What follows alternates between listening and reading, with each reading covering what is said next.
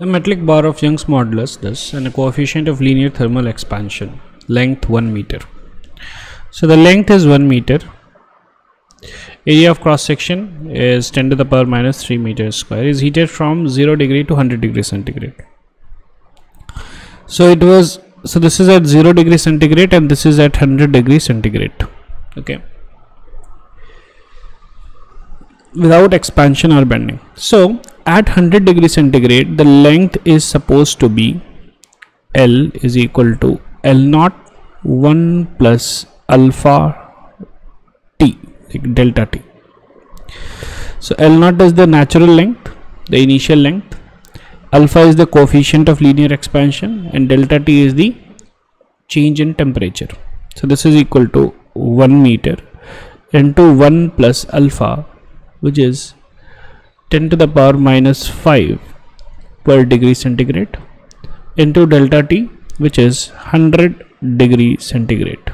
Gone gone. So this is going to be and 100 so this is going to be 10 to the power minus 3 so therefore delta L is 10 to the power minus 3 meters. Okay. Now this bar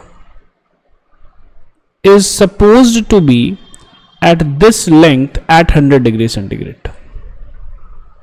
Okay? But now what we have done is we have fixed the bar. Okay? And we have not allowed any compression or any expansion. So that means that we we have kept the bar till here only.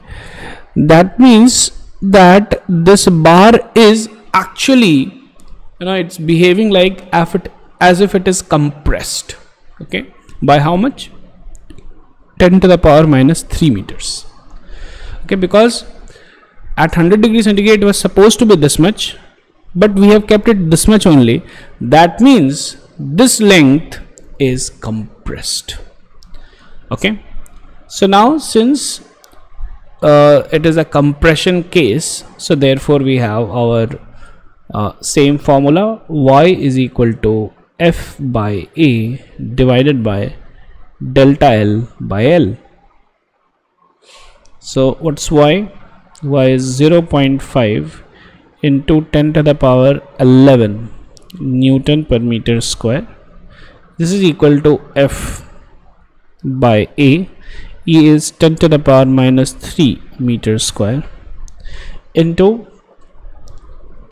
uh, L 1 meter delta L is 10 to the power minus 3 meters. Gone gone. So therefore force is equal to so this will go there as 0.5 into then meter square meter square is gone. So 0.5 into 10 to the power 11 minus 6 which is 10 to the power 5 okay. So this is basically 50 into 10 to the power 3 newtons. Okay. So 5 into 10 power 4 50 into 10 power 3 so therefore the answer is going to be a. Thank you